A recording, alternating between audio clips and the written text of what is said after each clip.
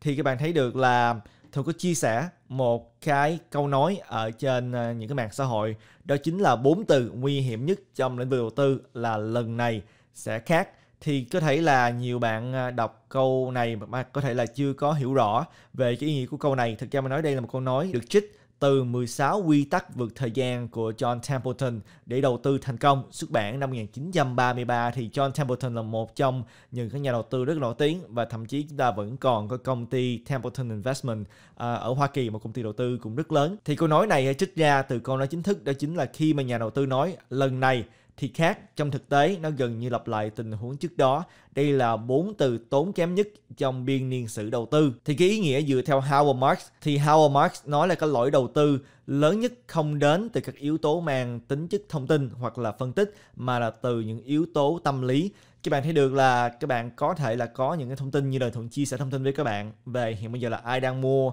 bây giờ là tình thị trường như thế nào, những thông tin như thế nào, tin tức ra sao và các bạn cần phải biết gì về những cái thông tin này? Thì thuận chia sẻ với các bạn, đương nhiên những nhà đầu tư khác thì cũng có những cái thông tin tương tự, cho nên trên mặt thông tin bây giờ các bạn thấy được là khi mà đã có cái mạng xã hội, khi mà đã có internet rồi thì hầu như là thông tin đến rất là nhanh. Mọi người được tiếp cận được thông tin rất là nhanh. Nhưng mà những cái yếu tố dẫn đến cái sự khác biệt, các bạn nhận được một thông tin này thường chia sẻ với các bạn là bây giờ là có rất nhiều những tổ chức đầu tư lớn đang mua, thì cũng một thông tin này một bạn có thể ra ra quyết định là bây giờ có thể là nên bán, tại vì cơ hội là có thể là bị những tổ chức đầu tư đó xả hàng lên đầu của mình, cho nên cần phải bán một bạn khác. Thì nhìn vào góc cạnh khác, nói là cái thông tin này nghĩa là chúng ta cứ tiếp tục mà gom thêm bitcoin đi, tại vì họ đang gom thì đương nhiên chúng ta cũng phải gom. Cho nên mang thì được là cùng một thông tin, nhưng mà hai người sẽ có hai cái suy nghĩ khác nhau. Và cái điều khác biệt đó chính là cái yếu tố tâm lý. Các bạn thấy được là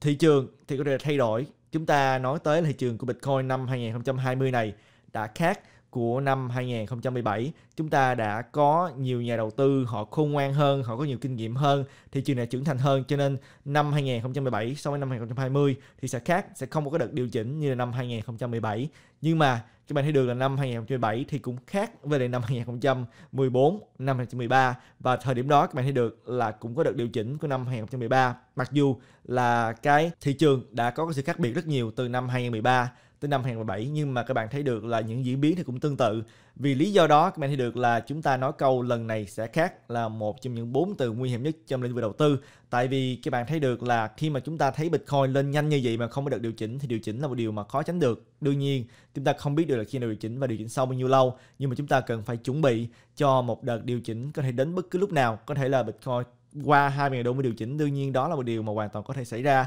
Và điều mà thường muốn nói với các bạn ở đây là mỗi lần các bạn nói là lần này đã khác tại vì tình hình Bitcoin bây giờ đã khác năm 2007 rất là nhiều. À, vì những yếu tố mình thường mới vừa nói tới nhưng mà một yếu tố vẫn giống nhau đó chính là yếu tố tâm lý đầu tư. Các bạn thấy được là trong lĩnh vực đầu tư thì có hai cái yếu tố tâm lý mà chiếm đến cả thị trường, thứ nhất đó chính là tham lam, thứ nhì đó chính là sợ hãi. Và tuy là tình hình thị trường khác nhau, nhưng mà con người thì không khác. Con người thì vẫn mang hai cái yếu tố đó, tham lam và sợ hãi. Và thị trường giá cả bao nhiêu là do hai yếu tố này quyết định. Bao nhiêu người tham lam, bao nhiêu người sợ hãi, càng nhiều người sợ hãi thì giá càng đi xuống, càng nhiều người tham lam thì giá càng tăng lên. Cho nên tình hình có thể khác, nhưng mà những yếu tố này cũng giống nhau. Cho nên mới có câu nói từ John Templeton là bốn từ nguy hiểm nhất trên nền về đầu tư là lần này sẽ khác hay là lần này thì khác. 16 quy tắc vượt thời gian của John Templeton để đầu tư thành công. Và vì lý do đó thường đã chia sẻ ở trên những mạng xã hội ngày hôm nay cái kết cấu à, phân phối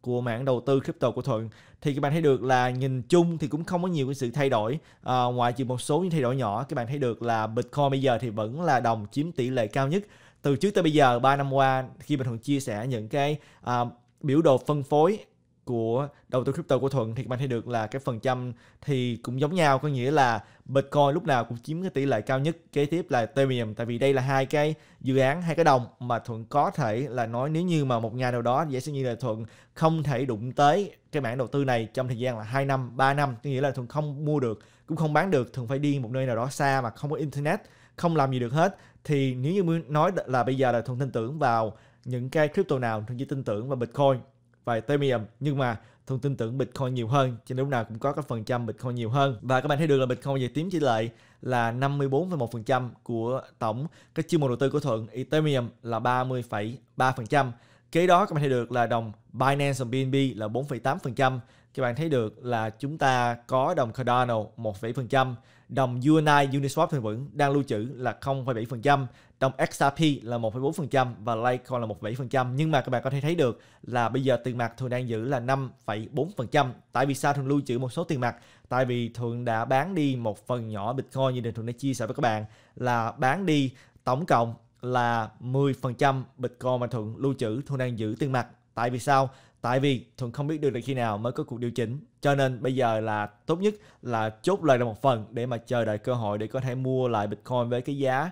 thấp hơn, để có được thêm nhiều Bitcoin hơn tại vì Thuận tin tưởng mã đầu tư này trong một thời gian lâu dài. Nhưng mà nếu như mà Bitcoin thực sự là qua luôn 20.000 đô lên 25 30.000 đô rồi mới điều chỉnh xuống, còn 25.000 đô đi, thì coi như là phần này là Thuận chốt lời. Chốt lời thì đương nhiên là không bao giờ bị lỗ và đây thực sự mà nói là cái phần trăm mà thường cũng nên chốt lời à, từ năm 2017 như là thường đã chia sẻ trong cái video chốt lời mà thường đã làm gần đây Thu hy vọng là đây có thể cho các bạn một số những cái tài liệu để các bạn có thể tự đưa ra à, quyết định về việc đầu tư của mình. Nói tới đây thì các bạn thấy là trong cái thời gian 7 ngày qua là không chỉ riêng là Bitcoin tăng trưởng mà như là nhiều bạn đã nói trên những mạng xã hội là những altcoin cũng bay rất là mạnh. Chúng ta chỉ nhìn vào những cái altcoin mà lớn thôi thì các bạn thấy được là Ethereum trong vòng 7 ngày qua đã tăng 23,5% trong khi Bitcoin chỉ tăng có 15% trong vòng 7 ngày qua mà thôi. Còn các bạn thấy được là XRP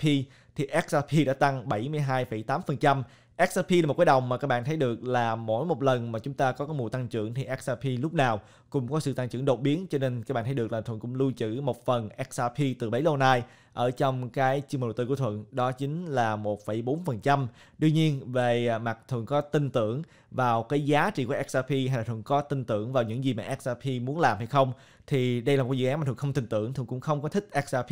thì như bạn sẽ hỏi là nếu không thích thì tại sao lại lưu trữ đồng XRP tại vì các bạn cũng nên nhớ là một trong những cái tiêu chỉ trong niềm đầu tư bình thường lúc nào cũng tuân theo đó chính là các bạn muốn kiếm tiền hay là các bạn muốn chứng minh là mình đúng. Thuận thì chỉ muốn kiếm tiền mà thôi cho nên cho dù là thuận nghĩ là XRP không có giá trị nhưng mà nếu như mà thuận nghĩ XRP sẽ tăng khi mà tất cả các đồng đều tăng như là các bạn thấy là tăng 72,8% thì đương nhiên thuận không lý do gì mà không lưu trữ hết trong lĩnh vực đầu tư các bạn chỉ cần kiếm tiền mà thôi. Uh, Chainlink lên 17% Litecoin lên 31,9% Bitcoin Cash lên 13,4%, Polkadot lên 26,9%, Binance Coin uh, lên 8,7%,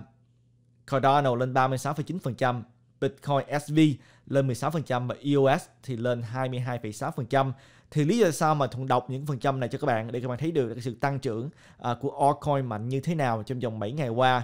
thì điều này có ý nghĩa như thế nào? Các bạn thấy được là Bitcoin tăng trưởng thì chúng ta đã nói trong những video gần đây, đó chính là cái sự hứng thú của những nhà đầu tư lớn, những tổ chức đầu tư. Họ mua Bitcoin để mà lưu trữ lâu dài. Cho nên các bạn thấy được là giá Bitcoin tăng lên. Nhưng mà những altcoin này thì bây giờ chúng ta không có nhận được thông tin nào là những cái tổ chức đầu tư lớn đi ra thị trường mà họ dùng tiền của mình để mà mua XRP hay là Litecoin hay là Chainlink hay là Polkadot. Các bạn thấy được là cái sự tăng trưởng này là thuận tin tưởng là đến từ những cái người ở trong thị trường bây giờ. Có thể là nhiều bạn chốt lời từ Bitcoin đẩy qua altcoin, hay là nhiều bạn có thể thấy được là Bitcoin đã tăng quá nhiều, thì có thể là dùng tiền của mình để mà mua altcoin, tại vì nghĩ là cái cơ hội tăng trưởng sẽ cao hơn. Thì điều mà tôi muốn chia sẻ với các bạn đó chính là đúng khi mà chúng ta thực sự là bước vào cái mùa tăng trưởng kế tiếp, như là bây giờ, khi mà các bạn thấy được là Bitcoin bắt đầu tiến dần đến đỉnh cũ và sau đó sẽ phá đỉnh cũ để mà lập đỉnh mới, thì khi mà Bitcoin nguội lại thì tiền sẽ dồn về những cái altcoin. Đặc biệt là khi Bitcoin qua khỏi cái đỉnh cũ, khi mà chúng ta kéo thêm nhiều người mới bắt đầu tham gia vào thị trường này, khi mà Bitcoin qua khỏi 20.000 đô thì sẽ dẫn tới là nhiều người mới lúc nào cũng sẽ tham gia vào thông qua Bitcoin. Đây là một cái thương hiệu hàng đầu của crypto. Nhiều bạn thì nói là bây giờ đã khác năm 2017 khi mà mua altcoin thì không cần phải mua Bitcoin. Cho nên trên căn bản cũng không cần phải mua Bitcoin. À, nhưng mà các bạn thấy được là mọi người bây giờ ngay cả những tổ chức đầu tư lớn họ chỉ tin tưởng vào Bitcoin mà thôi. Và một người mới tham gia vào thì nghĩ là phần lớn mọi người sẽ mua Bitcoin trước. Sau đó khi mà họ tìm hiểu altcoin thì lúc đó các bạn mới thấy được là tiền đổi từ Bitcoin về altcoin để cho có cái lợi nhuận cao hơn. Nhiều người thì nghĩ là Bitcoin bây giờ là quá mắc 18.500 đô. À, thì khi mà các bạn chỉ có một số tiền nhỏ chỉ như một ngàn đô mà thôi thì chỉ không mua được bao nhiêu bitcoin hết nhiều bạn có cái suy nghĩ đó cho nên nhiều bạn nói là nhìn vào những đồng như là XRP thì quá rẻ một ngàn đô có thể mua được rất nhiều đồng XRP hay là có thể mua được rất nhiều đồng Chainlink hay là Litecoin vân vân nhưng mà các bạn thấy là 10% lợi nhuận của Bitcoin hay là 10% lợi nhuận của Ethereum thì các bạn có 1.000 đô, cái lợi nhuận cũng giống nhau, đó chính là 100 đô. Cho nên về cái phương diện các bạn đầu tư và cái đồng nào thì các bạn không nên nhìn vào cái giá của đồng mà các bạn cần phải suy nghĩ đến là cái cơ hội lợi nhuận là bao nhiêu. Bây giờ có tin tưởng vào dự án này hay là không? Đó mới là cái điều quan trọng. Tại vì các bạn thấy được là nếu các bạn muốn đầu tư Bitcoin thì 1.000 đô các bạn vẫn có thể mua được một phần của Bitcoin. Tại Bitcoin để chia ra những cái phần nhỏ gọi là Satoshi các bạn có thể mua là 0,01 Bitcoin vân vân thì 0,01 Bitcoin. Khi mà các bạn thấy Bitcoin lên 15% trong 7 ngày qua thì các bạn vẫn lời 150 đô từ 1.000 đô. Cũng giống như các bạn đầu tư vào XRP nếu như mà lên 15% thì các bạn cũng lời 150 đô trên 1.000 đô. Cái lợi nhuận là giống nhau chỉ quan trọng là bạn tin tưởng vào dự án nào.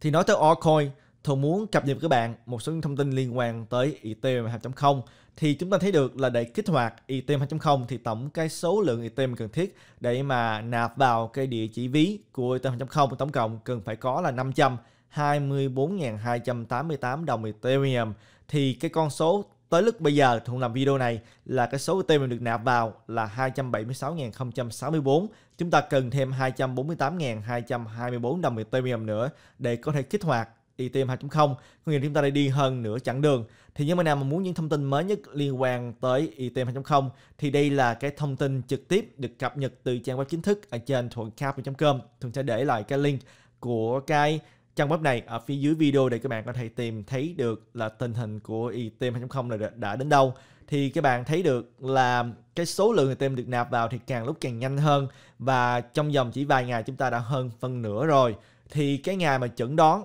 Ethereum hợp chung ra đời là ngày 1 tây tháng 12 thì có kịp hay là không? Chúng ta vẫn còn khá nhiều Ethereum cần phải được nạp vào để kích hoạt Ethereum 2.0 thì bây giờ đối với thuận là chúng ta hầu như là có thể là không có kịp Tại vì sao? Tại vì các bạn thấy là đội của Ethereum đã nói là nếu như mà muốn kích hoạt Ethereum 2.0 à, thì cần phải có cái số lượng Ethereum cần thiết là một tuần trước cái ngày 1 tây tháng 12 có nghĩa là phải có